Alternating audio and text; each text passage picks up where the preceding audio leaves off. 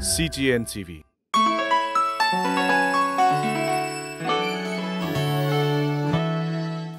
สวัสดีครับ พบกับผม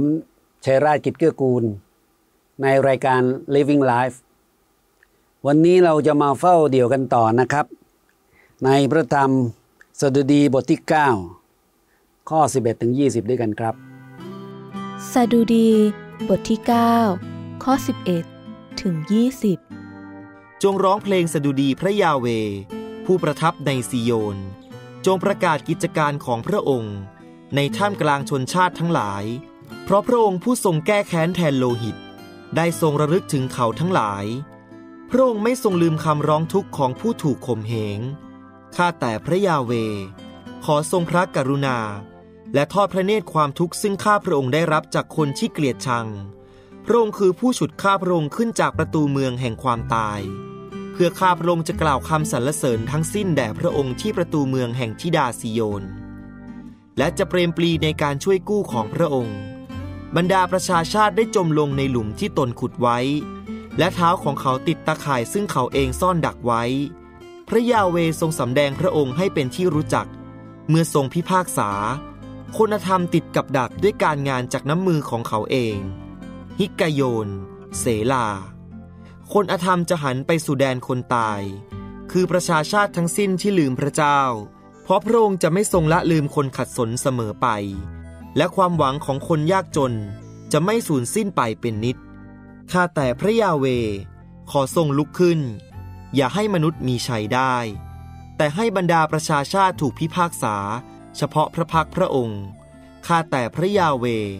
ขอทรงทำให้พวกเขาเกรงกลัว และให้บรรดาประชาชาติทราบว่า พวกเขาเป็นเพียงมนุษย์ เสลา สดุดีบทนี้นี่ได้ให้ความคืบหน้าไปมากกว่า 10 ข้อของเมื่อวาน ได้พูดถึงข้อที่ 12 นะครับ พระเจ้าทรงแก้แค้นแทนโลหิตคำว่าแก้แค้นแทนโลหิตนี่หมายถึงมีการตายเกิดขึ้นนะครับ ผมไม่แน่ใจว่าสิ่งนี้จะทำให้พี่น้องเกิดความสงสัยหรือเปล่าว่าอ้าวก็ตายไปแล้วศัตรูยังไม่ถูกทำอะไรเลย ตายไปแล้ว แล้วอะไรล่ะที่เรียกว่าการช่วยกู้ของพระเจ้า เพราะว่าเมื่อวานพูดว่าจงเชื่อในพระเจ้า หวังในการช่วยกู้ของพระเจ้านะครับ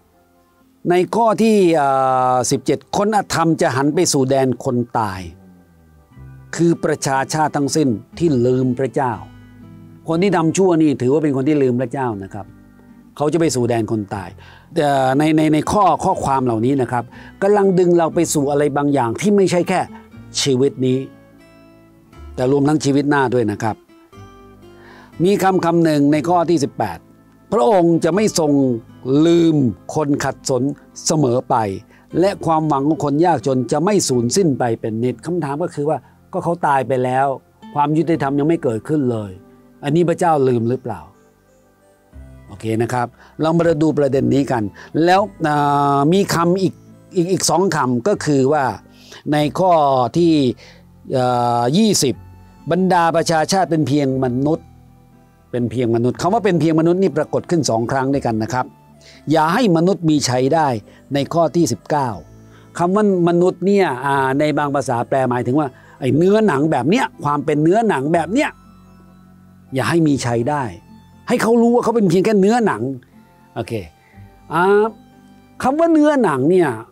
ในความเข้าใจของผู้เขียนสรุดีก็คือว่าชั่วคราว มาแล้วก็หมดไป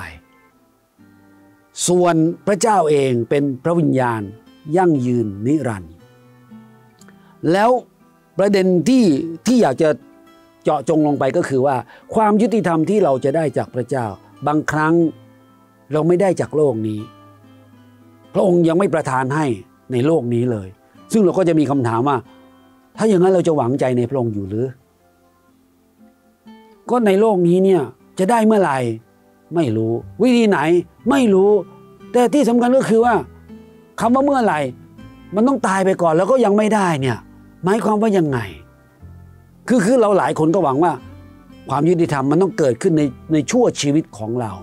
ความเป็นธรรมมันต้องมีขึ้นในชั่วชีวิตของเรา ไอ้คนที่มันไม่ไม่ดีแย่ๆทั้งหลาย เราจะต้องเห็นมันพินาศต่อหน้าต่อตาของเรา หรือว่าเห็นความที่มันต้องได้รับอะไรบางอย่างที่มันสะสมในชีวิตของเรา ถ้าชีวิตของเรามีเพียงแค่นี้นะครับ พี่น้องก็คือภายในโลกนี้นะภายในโลกนี้นะครับ กรอบของเราบางทีมันมันจะนำเราไปสู่ การดำเนินชีวิตเพื่อโลกนี้ ซึ่งจะเป็นอันตรายต่อตัวเราเอง เพราะเราจะมีเพราะเราจะไม่ให้ความสำคัญกับโลกหน้า ที่จริงแล้วเนี่ยเมื่อเราดูในพระคัมภีร์ใหม่เนี่ยแม้แต่องค์พระเยซูคริสต์เอง หรือแม้แต่บรรดาจดหมายฝากรวมทั้งที่สำคัญก็คือในพระธรรมวิวรณ์พูดถึงความเป็นนิรันดร์การ เป็นอะไรที่มีความสำคัญยิ่งใหญ่กว่าความเป็นเพียงมนุษย์ หรือเนื้อหนังในโลกนี้เท่านั้น ในพระธรรมหนึ่งโครินสิบห้าพูดถึงว่าเนื้อหนังในโลกนี้เนี่ยมันขาดศักดิ์ศรี แต่กายวิญญาณเนี่ยมันมีศักดิ์ศรี เนื้อหนังในโลกหน้ามันมีศักดิ์ศรี เนื้อหนังในโลกนี้มันขาดฤทธานุภาพ เนื้อกายวิญญาณ หรือว่าสิ่งที่พระเจ้าจะประทานให้เรากายใหม่ของเราเนี่ยมันเต็มไปด้วยฤทธานุภาพ ในโลกของพระเจ้าที่เรากำลังจะไปอยู่กับพระองค์เนี่ย ที่พระเยซูทรงสัญญาไว้ว่า พระองค์จะไปจัดเตรียมที่ไว้สำหรับเรา และจะกลับมารับเราเพื่อจะได้ไปอยู่กับพระองค์ที่ที่นั่น จะเป็นที่ที่เราจะอยู่ถาวร ไม่มีความมนทิน ไม่มีความอ่อนแอ ไม่มีความเจ็บป่วย ไม่มีอะไรที่แบบที่เรียกว่าไม่สมบูรณ์อยู่เลย ที่นั่นสมบูรณ์แบบทุกอย่าง เราจะไปอยู่ที่นั่นถาวร แต่อะไรก็ตามที่เกิดขึ้นในโลกนี้เป็นเพียงแค่ชั่วคราว ความไม่ยุติธรรมนี่มันเกิดขึ้นกับเรา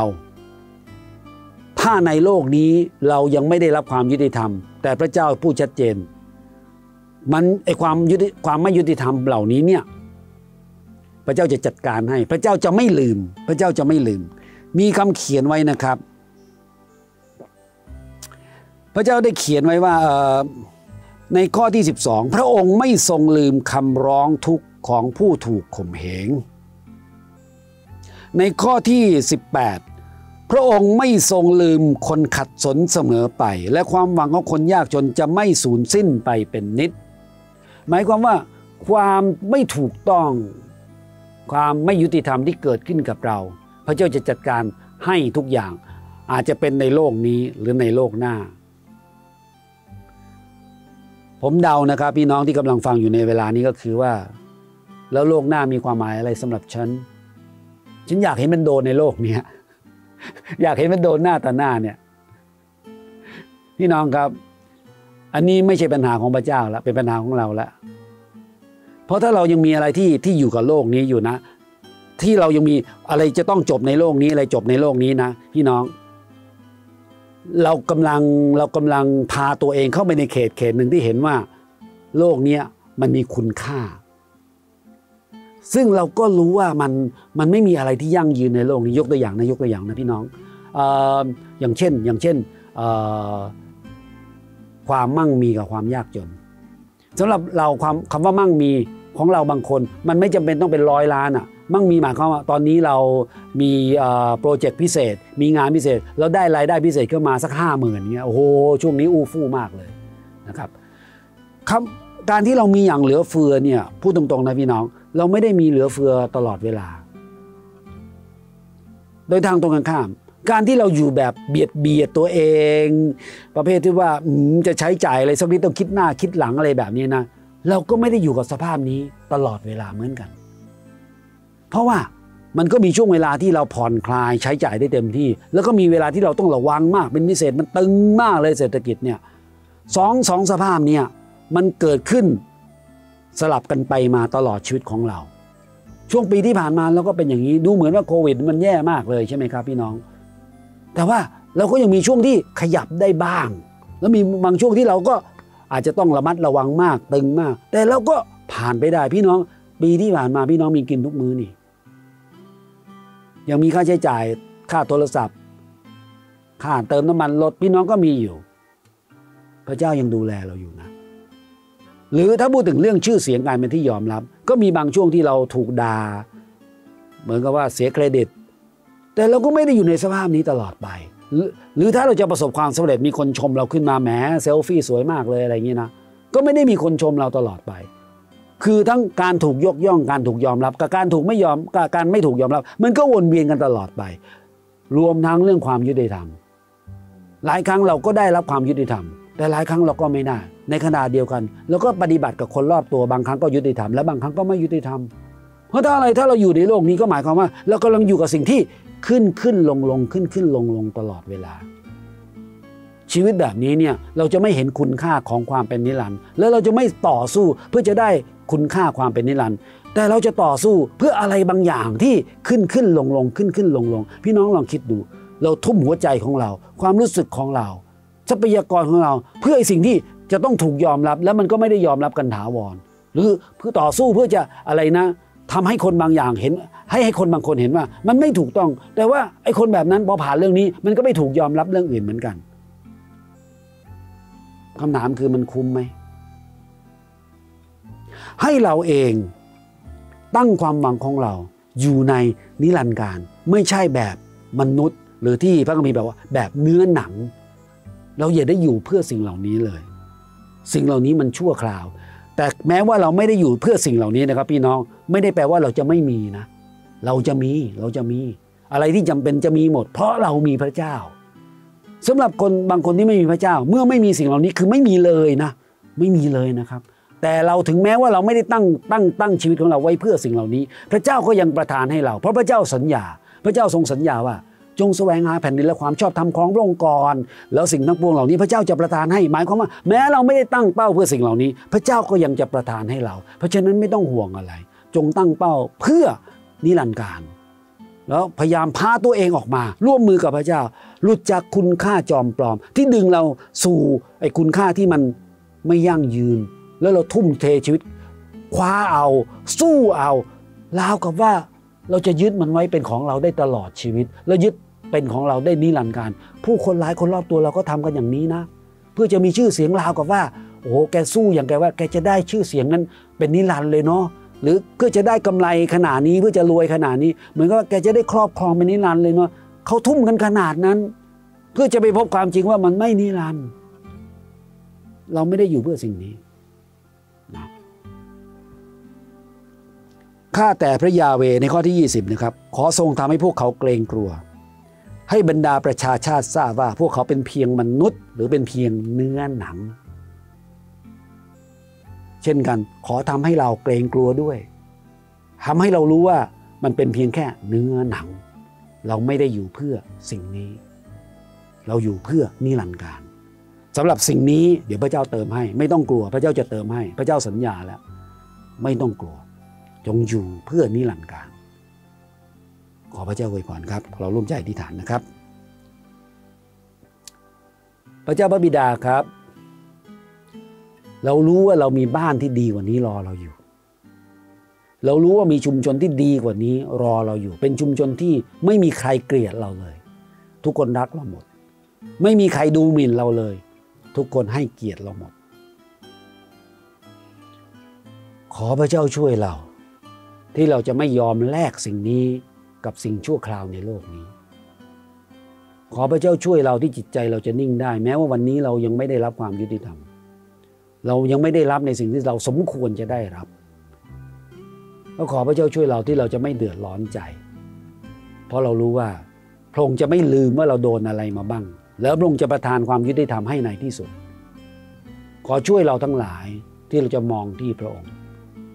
ว่าพระองค์จะจัดการตอบแทนให้ทุกอย่าง ถ้าเป็นชีวิตนี้ขอบคุณพระเจ้า แต่ถ้าไม่ใช่ก็ขอพระเจ้าช่วยเราที่เราจะไม่เดือดร้อนใจ เพราะเราไม่ได้อยู่เพื่อที่นี่ เราอยู่เพื่อจะอยู่กับพระองค์เป็นนิรันดร์ขอบคุณพระเจ้าที่เตือนสติเราในเช้านี้ ในพระนามพระเยซูคริสต์เจ้า อาเมน ก็พี่น้องเองก็ได้รับพระพรจากรายการ Living Life ของ CGN TV นะครับ ถ้าพี่น้องเห็นว่าเป็นประโยชน์ก็หนุนน้ำใจพี่น้องนะครับ กดไลค์กดแชร์กดติดตามทั้งใน Facebook YouTube แล้วก็สามารถแบ่งปันให้พี่น้องคนอื่นได้ แล้วก็หากมีคอมเมนต์ใดๆอย่าได้ลังเลใจนะครับ ที่จะเขียนตอบสนองนะครับ ขอพระเจ้าอวยพรครับ